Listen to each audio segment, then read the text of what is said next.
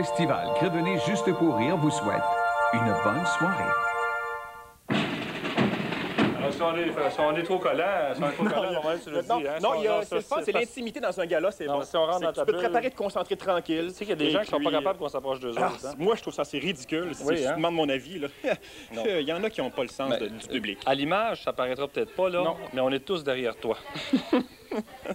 Ça me rassure. OK? Je, je me sens comme un caucus au football. Bon gala. OK. Tu entres, euh, t'entres par là, toi? Oui. OK. Je vais vomir par là-bas.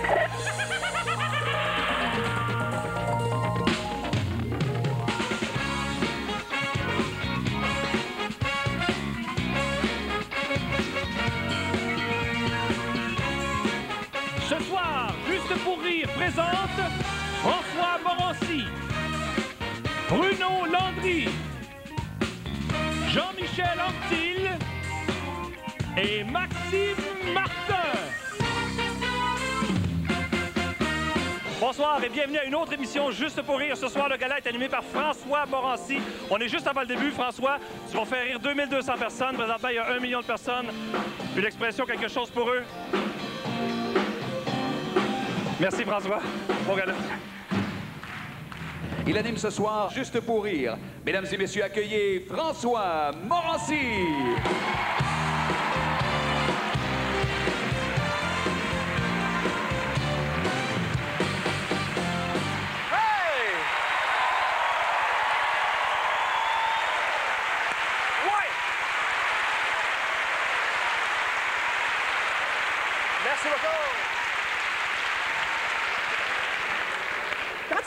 Pour animer un gala cette année, je capotais, hein?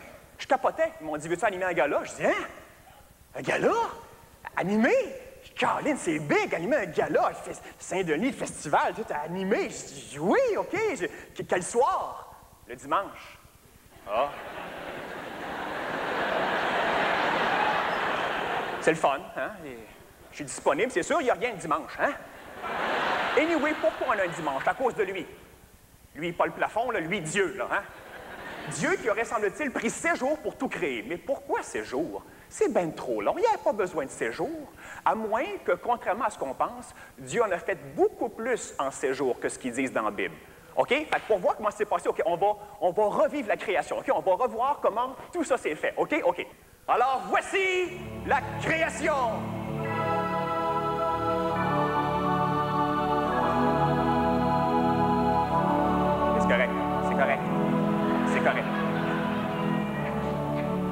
Le premier jour, Dieu créa en avant-midi la terre, l'eau et les animaux, et il vit que cela était bon. En après-midi, il créa les végétaux et les envoya au cégep.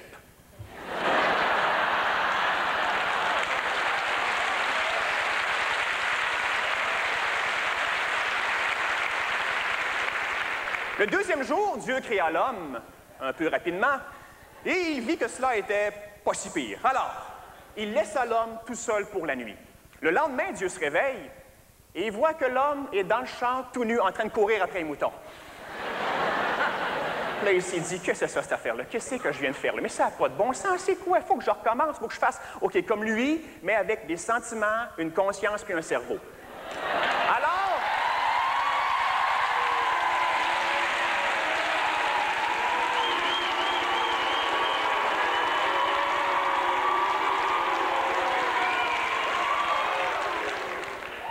Alors, le mercredi à 9 h, Dieu créa la femme.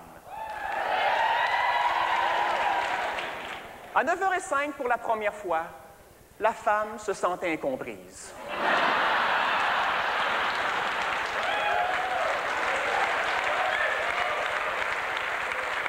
Alors, à 9h10, boum, on avait Châtelaine, Jeannette Bertrand puis les centres d'achat. Le lendemain, à 7 h, Dieu regarde et voit que l'homme est dans le champ en train de courir après un mouton. Là, la femme vient voir Dieu et lui dit Hey, écoute bien, lui, il pense juste au sexe tout le temps, puis je suis bien tanné. Fait que si tu veux que ça marche entre nous deux, je veux deux choses. Un, que tu lui enlèves sa vie sociale. Deux, avoir le contrôle, moi, sur les relations sexuelles. Alors Dieu créa le mariage. Le lendemain, L'homme se réveille en beau baptême. Va voir Dieu et dit Hey, c'est ça cette affaire-là de mariage? Jurer fidélité pour toute la vie? T'es-tu malade? Alors Dieu regarde l'homme, se sent coupable et il crée le hockey, la grosse bière pliée dans sa 10.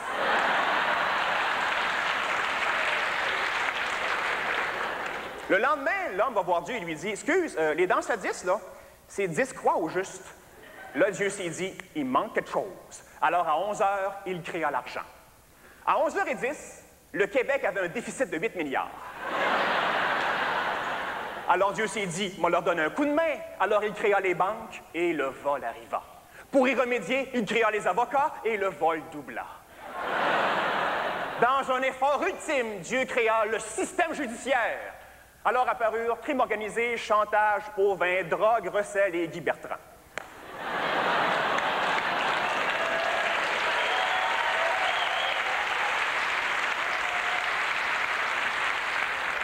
Écœuré de tout ça, Dieu détourne le regard et il voit que l'homme est dans le champ tout nu en train de courir après un mouton. Donc, le dimanche matin à 9 h, Dieu se réveille. Et après avoir bu 14 bouteilles de Châteauneuf du Pape, il regarde sa création et dans son infinie bonté, il déclare Maudit humain! Là, je t'écœure de vous autres. Ça fait six jours que vous m'écœurez. Mais, mais vous en faire un paradis terrestre, moi. Quel hiver moins 30, puis quel été plus 30. Ah, c'est moins drôle, hein? Puis c'est pas tout. Quel des volcans, quel des tremblements de terre, puis quel dit la crise du verglas? Ah! Ah! Ah! Puis c'est pas fini. Quel des lendemains de veille, quel des infos pubs, quel des témoins de Jéhovah? Ah! Vous êtes toutes pareilles. Non, vous ne serez pas toutes pareilles, m'en faire des blancs, des noirs, des jaunes, des rouges. Vous allez vous chicaner pour des niaiseries. Vous allez vieillir, vous allez avoir des rides d'en face. Ça, la femme n'aimera pas ça. Mais vu que je un bon gars, moi, il faire de la crème hydratante. À 200 pièces le pot. Qu'est? Qu'est la culotte de cheval? Qu'est le point G qui change de place à tout bout de champ? C'est moins drôle. Oh, puis l'homme, toi et mon gros point intelligent. L'homme, tu vas avoir du poil dans le nez, dans les oreilles, sur le dos, sur le ventre, partout. Ton summum sexuel, tu vas l'avoir à 18 ans quand t'es plein de boutons pis t'as pas de char.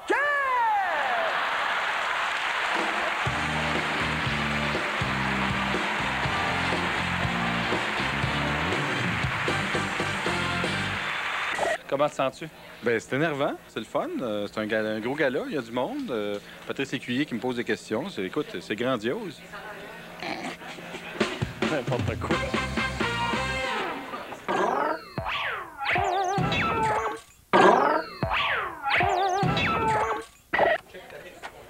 Est-ce qu'on peut parler à Jean-Michel? Ça tombe-tu bien? Ça tombe-tu bien? Ça tombe très bien. Écoute, on m'a dit que tu étais quelqu'un de très audacieux. On m'a dit que même dans le cadre de, de l'émission, tu es allé voir des motards. c'est pas moi, c'est Mario Jean.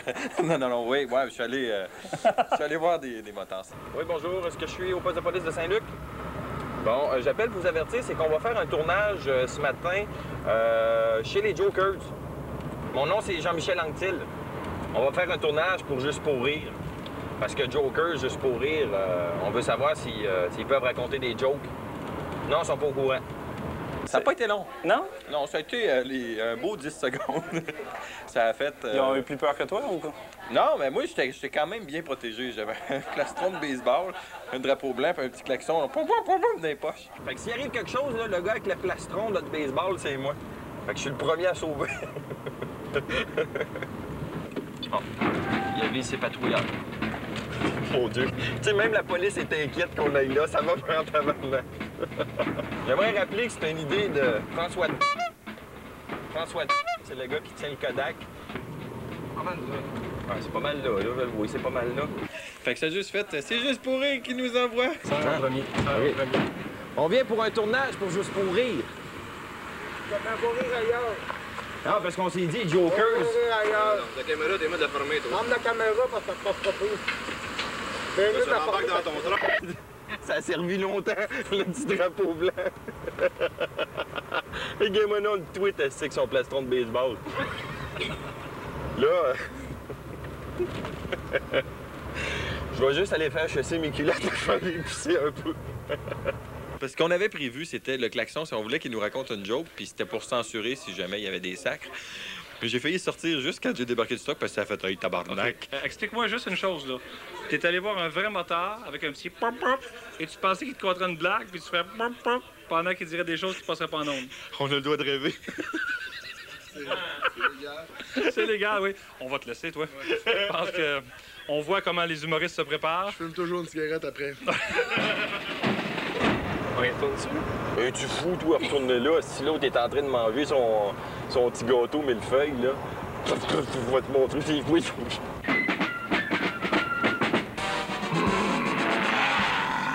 À chaque année, le festival essaye, essaye après maintes manigances d'avoir sur un des galas, des fois un des galas, un artiste de réputation internationale. Quelqu'un qui a une carrière qui ne connaît aucune limite géographique. Cette année, on en a un, le v'là. Un gars qui s'en vient, là, lui, là, le tour du monde partout, et c'est un miracle qui est accepté dans son horaire surchargé de daigner venir nous voir. Alors, mesdames, messieurs, on applaudit un accueil très fort, l'incroyable, l'unique, le seul, Ringo Rinfraie.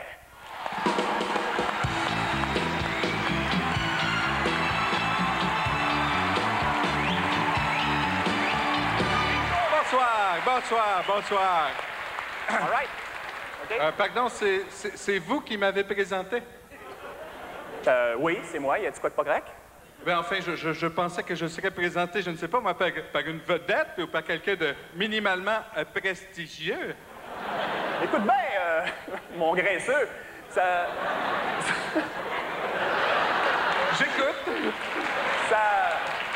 T'es pas heureux que je te présente, que c'est pas ton affaire? Pas vraiment, non. Tu voudrais quelqu'un de plus big? Quelqu'un de plus big. De plus prestigieux? De plus prestigieux. De plus, une plus grande magnitude? Plus grande magnitude. Ben, OK, sors, je m'en occupe. Sors, je m'en occupe. Sors, je m'en occupe. Sors, je m'en occupe.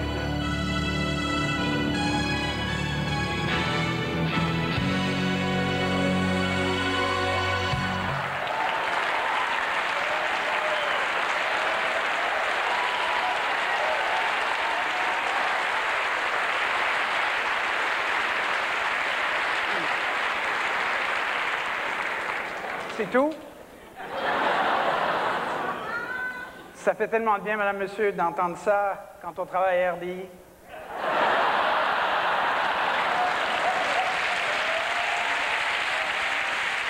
Mais à notre propos, j'ai ce soir un immense, immense privilège. J'y ai pensé toute la journée. Pour rendre justice à un homme, ma foi, au talent à la fois immense et, et minuscule. Un homme dont la perruque est peut-être, je l'apercevais, plus lourde que la cervelle. Et dans un costume qui me rend jaloux. Je vous demande donc d'accueillir Ringo Rinfray.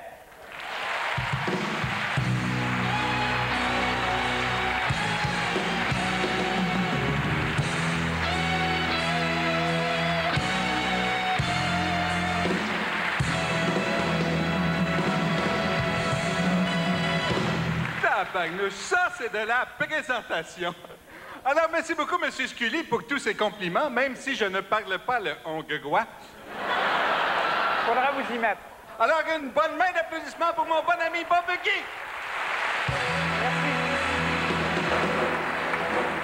Bonsoir, allez-vous? Ah, J'ai composé une chanson sur l'engorgement dans les urgences et les problèmes que connaît notre réseau de santé et... Alors, j'ai composé une chanson sur l'engorgement dans les urgences et les problèmes que connaît notre réseau de santé.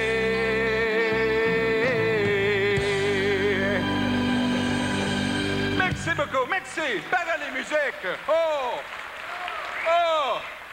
C'est incroyable. Il y a plein de médecins maintenant qui vont travailler aux États-Unis. C'est une catastrophe.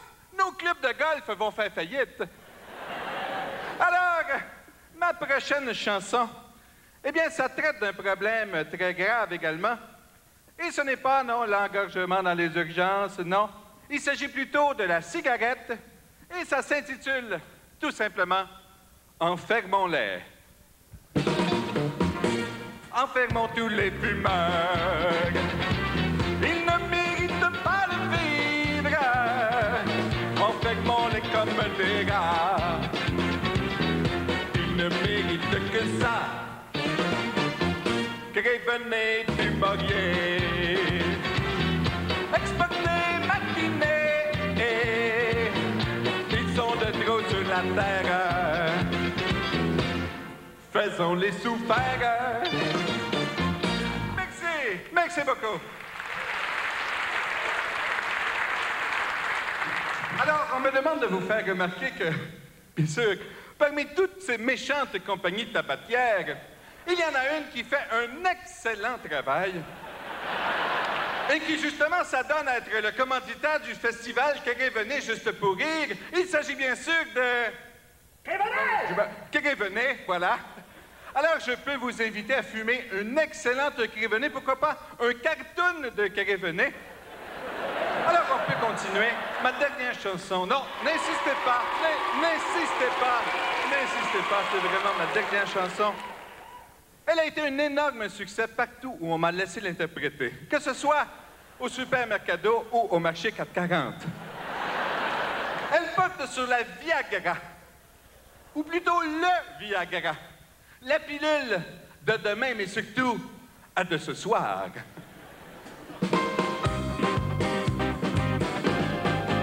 Un banc de Léon, un banc de Léon, avec Viagra, Léon a une érection. Banc de Léon, banc de Léon. Avec Viagra, Léon fait plus dans son pantalon.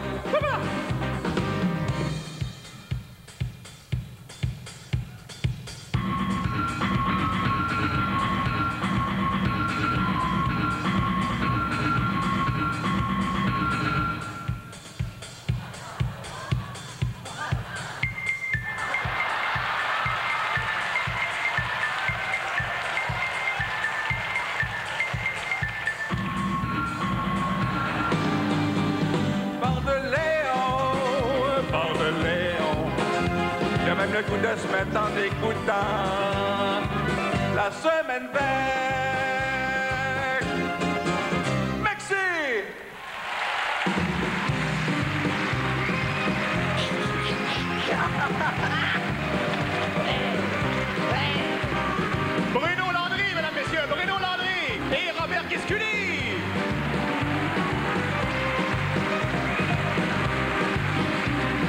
Que c'est confirmé la rumeur que tu vas annuler le grand gala du supermercado?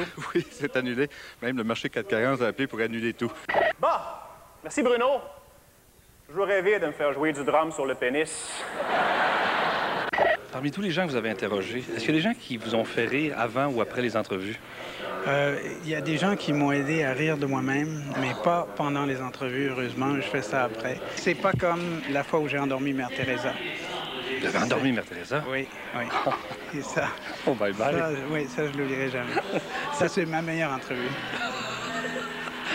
Elle avouait l'importance de l'enfance dans le développement de la personnalité. Donc, dans votre cas, vous avez dû subir au cours de votre enfance une influence tellement forte qu'elle vous a communiqué ce désir très profond, très solide, de vous consacrer à la défense des intérêts du tiers-monde. Pourquoi? Est-ce que vous, la première fois, est-ce que c'était la première fois quand je vous ai imité au Bye Bye que vous voyiez? Euh, Que j'étais imité, oui. Oui? Oui, oui, Comment oui, vous avez oui. réagi? Ah, tout à- très bien. Et puis, je me suis fait venir la bande et je l'ai rejoué deux ou trois fois. Et puis, j'ai admiré votre talent. Et depuis, depuis ce temps-là, que je me dois de faire ça et faire ça et tout ça. Même si j'en avais perdu l'habitude, je continuerai grâce à vous. Merci. Merci à vous.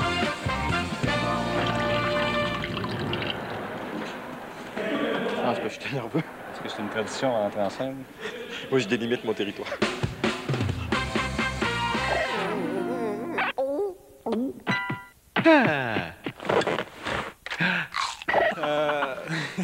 Fait que j'ai. euh, non, je suis encore nerveux parce que là, j'ai un autre numéro. On va rentrer de dos parce que ça va être bon le C'est relax. ça, oui. Ah. Ben, je suis encore nerveux pour mon nouveau numéro.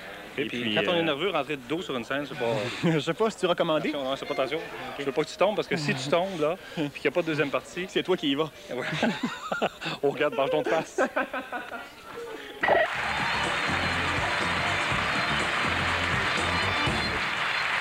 Ceux et celles parmi vous qui n'ont pas vu le coin ici depuis un an, depuis le dernier festival, vous avez sûrement remarqué qu'à l'arrière du théâtre, ils ont construit un nouveau complexe, hein? 17 nouvelles salles de cinéma. Ah non, Montréal est vraiment une ville de cinéma. La preuve, on n'a qu'à penser à n'importe quel aspect de la ville et tout de suite en tête nous vient un type de film. Aspect de la ville, type de film. Par exemple, se trouver un parking au centre-ville, mission impossible. Les expos qui jouent au stade, Home Alone.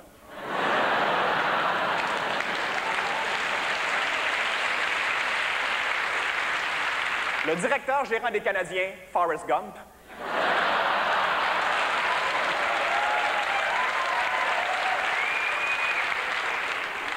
Les buffets des restaurants chinois, des souris et des hommes.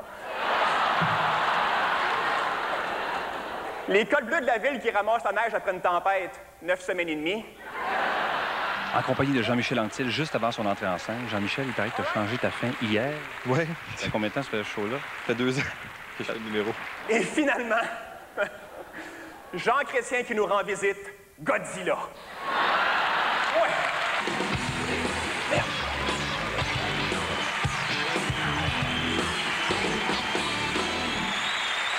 Merci beaucoup.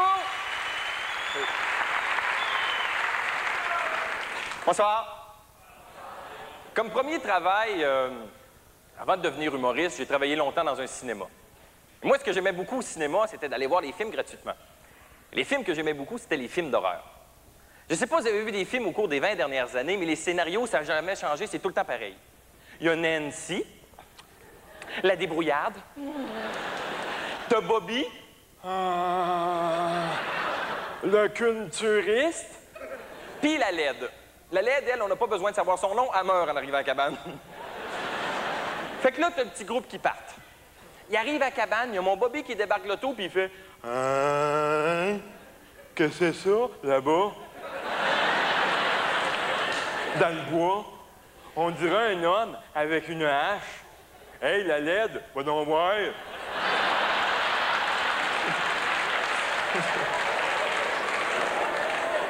Ça fait que pendant que la LED elle se fait corder avec les bûches, les autres, ils s'installent.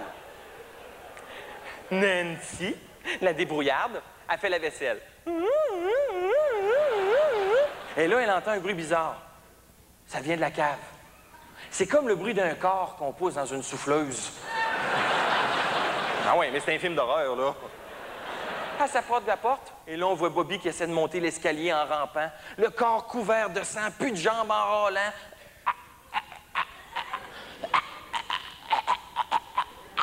Bobby, est-ce que tu essaies de me dire quelque chose, là? Mais je te comprends pas, Bobby. C'est sûr qu'elle comprend pas? Il n'y a plus de langue. Il fait du morse en clignant des yeux. Va pas dans cave! Mais Nancy est débrouillarde. Ça fait qu'elle ferme la lumière et elle descend la cave. Et là, au lieu d'avancer, elle recule. Oh! Est-ce qu'il y a quelqu'un? Oh! Est-ce qu'il y a quelqu'un qui a fait quelque chose à Bobby, là? Et c'est là qu'on entend la petite musique.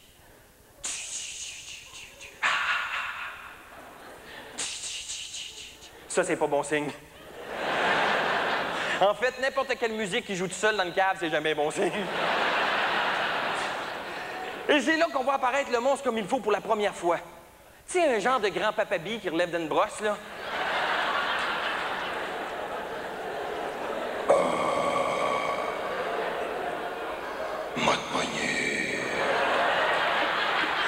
Là, Nancy, elle panique, elle remonte l'escalier à la course. Crise de Bobby. Là, elle arrive en haut, elle sort dehors, elle embarque dans le char. Hein, hein, hein. Doit être un Dodge. Pendant ce temps-là, t'as le monstre en arrière. Mode poignet. Et aussitôt qu'il m'a la main sur le char, boum, le char part. Qu'est-ce qu'il y a dans ce mail-là? C'est un corps à booster, là, là? Et là, on voit Nancy qui pèse sur le gaz. On voit Héro qui spinne dans la boîte. On voit Nancy qui pèse sur le gaz. On voit Héro qui spinne dans la boîte. On voit Nancy qui pèse sur le gaz. On voit Héro qui spinne dans la boîte. Là, on voit le monstre en tabarnak, la face pleine de boîtes, en train de pousser le char.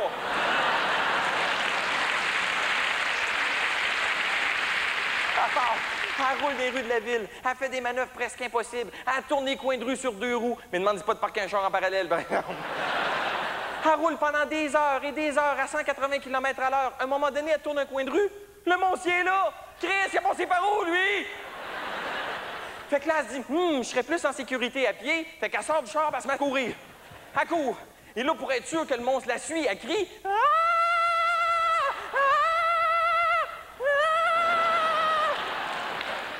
Et là, à un moment donné, oh, ah, crise de Bobby.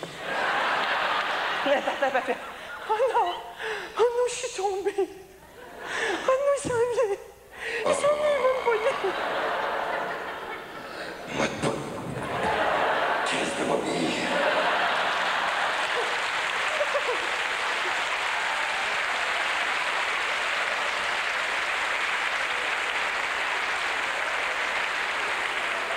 Et là, pendant que le monstre est tombé à terre, elle, elle se relève. Elle traverse la course. Elle traverse une forêt. Elle arrive face à la cabane. Elle rentre dans la cabane. Elle voulait finir sa vaisselle. Fait que là, elle entend un bruit bizarre. Elle prend une flashlight. Elle regarde. Il n'y avait rien. Elle l'allume.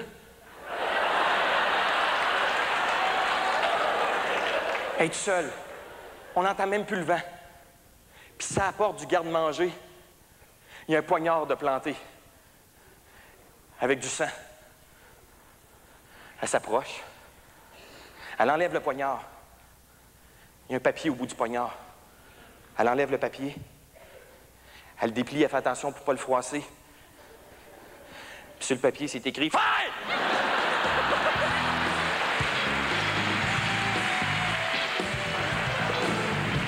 Jean-Michel, bravo! Merci. La nouvelle fin a commencé à partir de où? Elle commençait avec, euh, une fois que la fille est tombée, qu'elle retourne à la cabane, le, le couteau, puis le... Et ça finissait comment avant? Ça finissait d'écrire s'il marche. C'est drôle de voir les épaules sauter quand tu dis fin, tout le monde fait... fait que ceux qui avaient envie, c'est le temps d'y aller. Salut. Au nom de toute l'équipe, là, on a été heureux de te connaître. Ben écoute, hein, je suis bien parti comme un gagnant. Hello. Bon, euh, est-ce que c'est une, une étape importante pour vous autres ce soir? Oui, je pense que oui. Ben, ça va être trippant. Je pense qu'on va tripper. On... J'ai rien à dire, mais j'aimerais ça être dans le cadre. OK. Ah, non, ça va être cool, je pense. On est stressé un peu. euh. On a quelque chose pour nous déstresser, veux-tu voir ça? Oui, j'aimerais ça, oui. Ce que vous avez pour vous déstresser. Oh, monsieur. Est-ce qu'elle parle? Ben. ça, ça dé- ça dépend qu'est-ce qu'elle a dans la bouche. Oh, oh, oh, oh, ça va bien, ça va bien, oui, OK. Jusqu'à présent, est-ce que c'est votre plus grosse salle ici? Peut-être de 12 à Nord une fois. 12 personnes dans un sous-sol d'église. OK, on monte de 2200, c'est bon? Merci de nous stresser. Amateurs d'amour absurde avec un grand A, préparez-vous à vous régaler avec les Chicken Swell. Hey! OK, pas de panique, c'est un hold-up! Toi, va chercher la fin dans le coffre, correct! Toi, les mains les airs! Les mains les airs! J'en dis les mains les airs! Ah ouais, donne-moi l'argent. OK, viens t'en, je le cache! Police, rendez-vous! Vous êtes cerné! Ben ouais, on dort, ton couché de bonheur hier! Allez, tous contre le mur!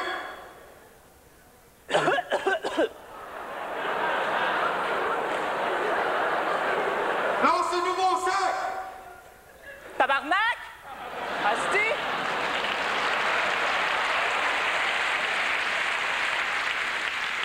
Police, rendez-vous! Attention, on a un otage! Oui, pas peut tuer, on est fous! Qu'est-ce que vous voulez? Je veux! Du lait! Des galettes! Et un petit pot de beurre pour mère grand! Qu'est-ce que tu veux? Merci. On veut des munitions, on n'a plus!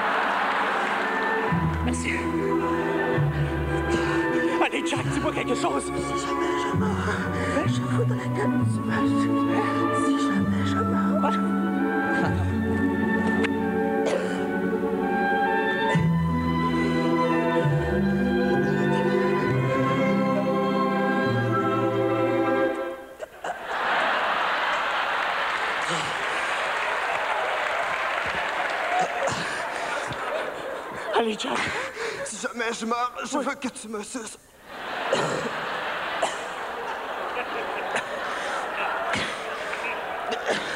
Je veux que tu me succèdes. Ah oui, j'aimerais parler à ma femme avant de mourir. Tiens bon, Jack, je avec toi. Tiens bon. Tiens bon, tiens. Lucie, je- attends un petit peu, j'ai un appel sur l'autre ligne. Oui? Oui? Ces policiers veulent négocier, qu'est-ce qu'on fait? On serait mieux de rien faire pour un petit bout.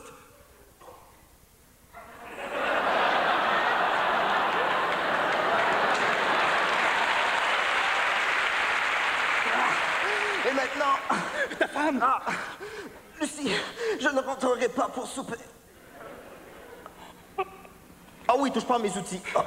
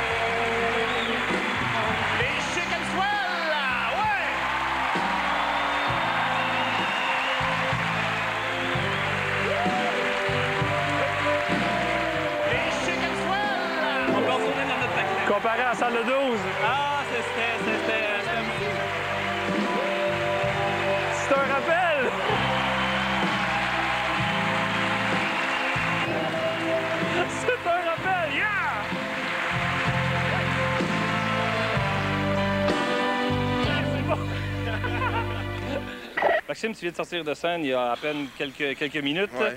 Tu viens de faire un numéro controversé, le moins qu'on puisse dire. On va regarder un court extrait. Ah, Ou quelques extraits, dépendant du réalisateur. Grand-maman change de poste. On parle de cul. Personnellement, moi, je trouve ça exagéré. Non, tu dis ça pour tes codes d'écoute. Non, non, non, non, non, non, je trouve ça, je trouve ça. C'est pour ça exagéré? Est-ce qu'il y a des gens ici qui étudient des films porno? Ben non, c'est ça. C'est une industrie de 8 millions par année, c'est moi qui la fait vivre. Mais ouais. Mais dans le sens que, ben, c'est. C'est pas le genre de choses qu'on doit dire sur scène. Moi, je, moi, je suis pour un peu le genre Walt Disney. Moi, je pense qu'il faut rêver sur scène. Ouais, mais Jeannette, euh, comment ça fait que Jeannette peut en parler, puis moi, je peux, je peux pas en parler? Mais un autre tabou aussi, c'est la masturbation. Oh boy, ça, hein? La masturbation. Toi, tu ris des choses sont. Je sont pas des choses, je raconte des affaires. C'est pas de ma faute, c'est non, Je suis fais pas responsable de ça. Je suis pas responsable du Non, mais rire. tu fais ça pour rire. Réalisez-vous que toutes les bouches que vous voyez ici ce soir ont déjà eu un pénis ou un vagin dedans? Des enfants qui viendraient voir ton show, qu'est-ce que tu dirais? Mais je veux pas voir d'enfants qui viennent voir mon show. Mais si t'as des enfants un jour, Ah, ben là, c'est une autre affaire. On leur a expliqué pourquoi que papa fait ça, que c'est ça qui a payé la piscine en arrière.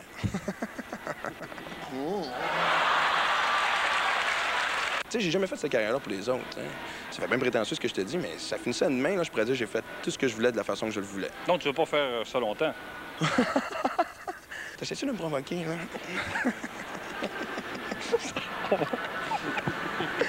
T'attendais-tu de me faire pogner les y est! Ah, mais non, mais gars!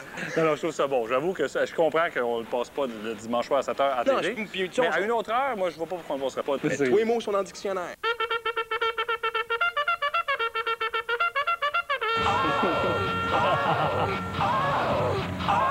Juste pour rire.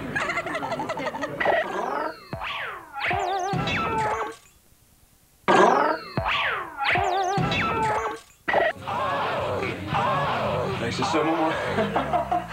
non, non, c'est ça. Mon numéro de cul, ça passe pas, mais mon cul, passe. C'est ça que t'essayes de me dire, c'est ça? C'est pas mon idée, c'est pas moi. Non, tu vois-tu en dessous? OK, là, je suis correct, là. Je vous avertis, oreille sensible, cœur fragile, ce sera direct, mais ce sera drôle en tabarouette. Mesdames, Messieurs, avec Maxime Martin!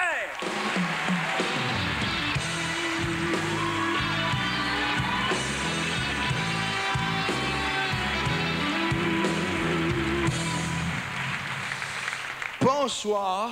Bonsoir, tout le monde. Ça va bien? Good. Good, good. Bon, euh, de quoi ça vous tente de parler? Politique, non. Les vacances, la merde.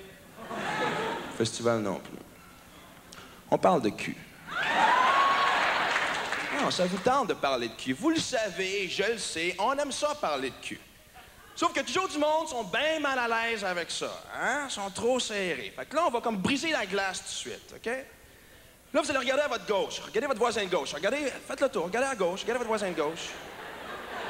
Regardez votre voisin de droite. Regardez vos voisins alentour. Regardez le monde avec vous autres. Regardez la bouche du monde qui vous entoure. Regardez la bouche du monde qui vous entoure.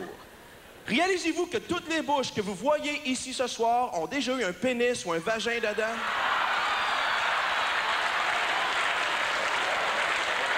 Elle a déjà mangé un pénis. Lui a déjà mangé un vagin. Lui a peut-être fait les deux. On sait pas, c'est de ses affaires. Ah. Bernard de Rome. Claire Lamarche. Claude Charon. On l'a tout fait. Bon, c'est sûr que de nos jours, c'est dur d'avoir une sexualité normale. Il y a trop d'options. Le sadomasochisme, je comprends pas ça. C'est où le plaisir de combiner douleur et sexe? Il me semble qu'on mange assez à la gueule à trouver quelqu'un qui veut coucher avec nous autres, qu'une fois rendu là, ça devrait être doux. Moi, là, personnellement, twister des mamelons, ça me tente pas. C'est assez? Encore plus? Tu veux aller chercher mes pinces? Hein? Non. Moi, sexe et outils, non plus. Les zoophiles. Baiser avec un animal. Ouh, faut qu'on m'explique ça. Baiser un animal. Moi, je vais passer par la tête. Qu'est-ce qui peut te donner le goût de fourrer un animal? Puis on s'entend sur le mot fourrer, là, hein? Tu fais pas l'amour à une chèvre, OK? C'est pas parce que tu sors les bougies puis que t'as la flatte qu'elle sent spécial? Le pire, selon moi, par exemple, c'est les nécrophiles. Ceux qui tripent à baiser avec des morts, des corps morts. Moi, là, juste savoir que ça existe, là, c'est assez pour que je me fasse incinérer. tu sais, c'est dur de pas penser au cul parce que c'est partout. On a plein d'annonces de jeans avec tout sauf des jeans dedans. On sert du sexe pour vendre toutes nos cochonneries. C'est drôle, moi, je me dis que tant qu'à tout essayer de me vendre avec des seins, là, vendez-moi juste les seins. Je peux-tu acheter une paire de seins, s'il vous plaît? Hein? Une paire de 642 3P. Let's go, livrez-moi ça. Si ça passe pas dans la porte, je m'en sac. Non, non, mettez-les n'importe où, me construire alentour. Un autre tabou de la sexualité, c'est les fantasmes. Moi, mon fantasme, c'est de coucher avec deux femmes. C'est le fantasme de bien des hommes. Pourquoi? Je ne sais pas, c'est notre fantasme. Deux, c'est un fantasme. Trois, c'est trop de job. Ça te prend un metteur en scène, là, non, non. Quatre, ouais, c'est surprise, surprise, ça, c'est sûr. Mais un autre tabou aussi, c'est la masturbation. Oh boy, ça, hein? La masturbation. Par applaudissement, les gens ici ce soir qui ne se masturbent pas. Exact! On le fait tout. Tu sais, combien de fois j'ai eu des blondes qui m'ont demandé Est-ce que tu te masturbes encore depuis qu'on sort ensemble? Ben oui! C'est normal! Les femmes ici demandaient à votre mari, à votre chum, s'il se masturbe encore depuis que vous sortez ensemble. S'il dit non, c'est qui vous trompe.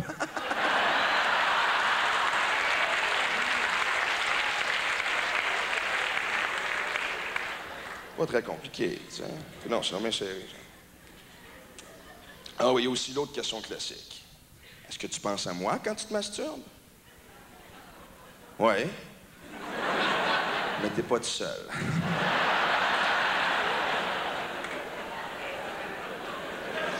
Il y a aussi des films porno. Hein? Est-ce qu'il y a des gens ici qui étudient des films porno? Ben non, c'est ça. C'est une industrie de 8 milliards par année, c'est moi qui a fait vivre. Mais ouais. Je sens faire, moi, me masturber et gueuler des jokes. Ben ouais. Moi, ce qui m'insulte, c'est de voir que les films sont traduits de l'anglais au français. Comme s'il y avait des francophones trop creux, je peux pas comprendre ce qui se passe dans un film porno, parce que c'est en anglais. Comme s'il y avait un gars dans son salon à Shawinigan en train de faire. Pourquoi qu'elle est tout nue, là? Non, mais elle vient juste de rentrer dans le bureau, elle est déjà tout nue. Qu'est-ce qui se passe, là? Hey, là, elle mange, le gars. Il a dû dire quelque chose, le gars. Qu'est-ce qu'il dit, le gars? Qu'est-ce qui se passe, là? Elle a-tu eu la job ou pas, là? Hein?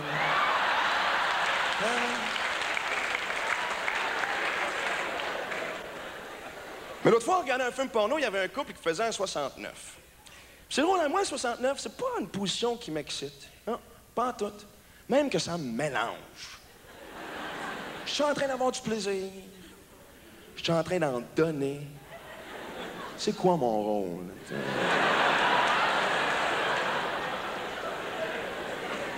C'est toujours la même affaire. Ah oui, chérie, arrête pas. Ah, c'est vrai, j'ai une job à faire. Là, là, là.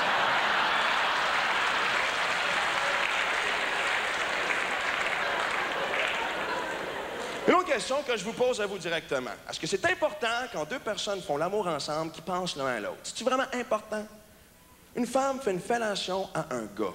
Ils ont le droit de penser à qui qu'ils veulent, non? Puis ça sert à rien de le demander. À quoi tu penses? À quoi tu veux que je pense? J'ai la moitié de mon cerveau dans ta bouche.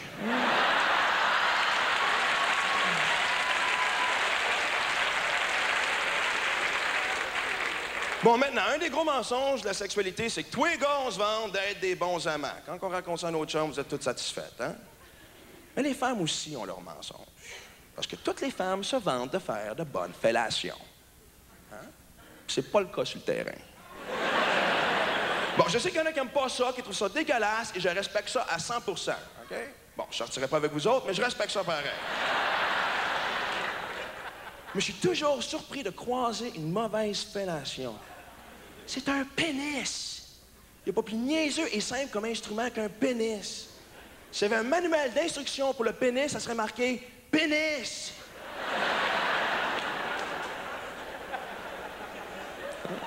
Bon, c'est sûr qu'il y en a toujours qui essaient d'en mettre trop, qui essaient de nous impressionner. On apprécie l'effort, mais des fois, tu sais, c'est- trop. tu sais. Moi, ça m'était arrivé d'avoir le goût de dire Hey, wow, wow, wow, chérie, c'est une fellation, pas un buffet chinois, ça, OK? Parce qu'on s'entend pour dire que le cunilingus, le sexe oral sur une femme, c'est beaucoup plus compliqué. Sérieusement, là, tu sais. Moi, le seul truc que j'ai trouvé, là, c'est que je me promène. Quand j'entends un petit Ah, je reste dans le coin. Bonsoir tout le monde.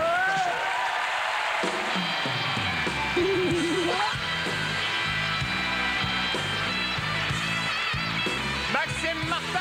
Hey! J'ai oublié mon bout parce que je parle de masturbation, tabarnak! T'as oublié deux Joe? Ouais, j'ai oublié deux Joe. Ben, deux qui passeront toujours pas à la TV, là, mais euh, mon but, c'est la masturbation. Ouais. Ah non, il va pas. Va te laver la bouche. je pensais qu'elle allait. Il vient t'envoyer te laver la bouche. Ouais. Maxime fera une tournée de garderie à l'automne. euh, Ouais, c'est moi qui remplace Bibi. Radio-Québec cherche une job. ben, hein? En tout cas, du cul, ça passe au Saint-Denis, ça, ben, Ça passe au Saint-Denis. Bravo. Ça passe au Saint-Denis. Ça, là, c'est de l'humour. Ça, c'est du gag, bon Dieu. La dernière semaine, c'est super, Céline. Les gars, je ne demanderai pas comment ça a été. Ça fait du bien. hein. Ça fait du bien. Toutes ces années d'efforts.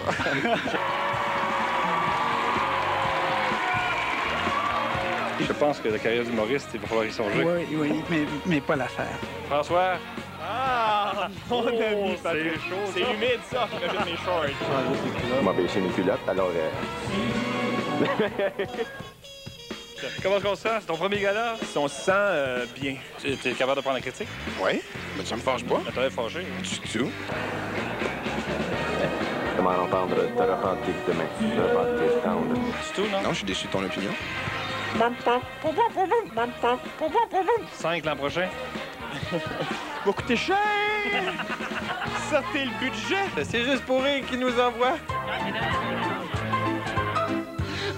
妈，这病。